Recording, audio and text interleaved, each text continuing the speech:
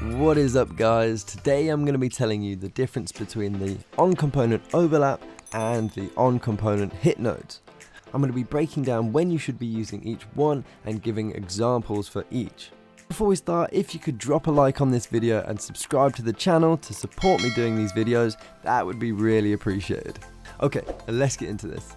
So for anyone who doesn't know, these on-component overlap and hit nodes are events which trigger, like the name says, when you overlap a collision or when you hit a collision. So if at face value they both do the same thing, which one do you use?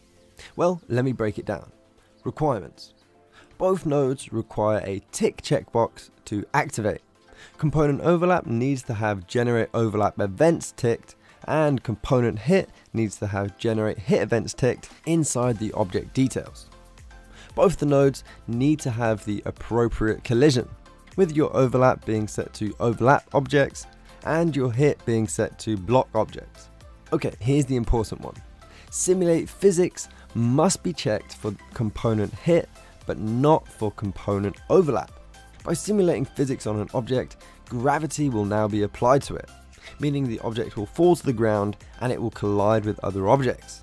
I'm sure you can see how this would be an issue when attaching a weapon to a mannequin's hand, not just because the weapon would collide with the mannequin, but because it's going to be pretty hard swinging a sword that is constantly falling to the ground.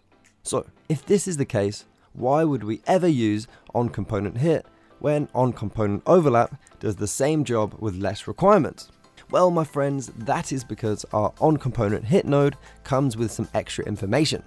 When we use a hit event and generate a hit, we can actually break down this hit and get some extra information from it, which we can't with the overlap. Say you want to spawn a particle system at the location of where your weapon struck an enemy. For this, we'd need the hit results. So how do we get a hit result without simulating physics on a weapon or object? Well, we can't use our overlap event because we need the hit information. But we also can't use the hit event as this requires simulate physics, meaning our weapon would collide with our character and fall to the ground. So what do we do? Well, we actually can't do anything with either of these nodes, but we can use something else called a line trace. And a line trace is basically a generated line used to detect collision.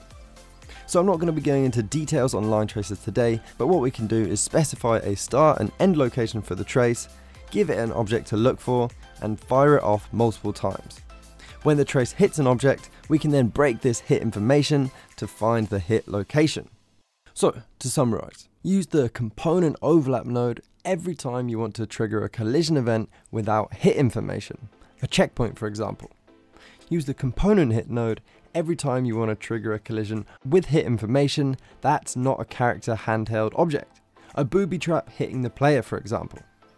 Use a trace node every time you need a collision with hit information when you want to avoid simulating physics on that object, a weapon for example. And that my friends is everything. I really hope you enjoyed the video, thank you so much for watching and I'll see you next time.